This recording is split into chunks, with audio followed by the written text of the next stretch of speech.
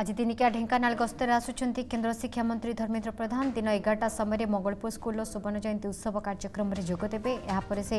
ଢେଙ୍କାନାଳ ଯାଇ ସେଠାରେ ସର୍କିଟ୍ ହାଉସ୍ରେ କିଛି ସମୟ ରହିବେ ଅପରାହ୍ନ ତିନିଟାରେ ଢେଙ୍କାନାଳ ଜିଲ୍ଲାପାଳଙ୍କ କାର୍ଯ୍ୟାଳୟରେ ଏକ ବୈଠକରେ ଯୋଗ ଦେଇ ଜିଲ୍ଲାର ବିଭିନ୍ନ ଦିଗ ପ୍ରତି ଆଲୋଚନା କରିବାର କାର୍ଯ୍ୟକ୍ରମ ରହିଛି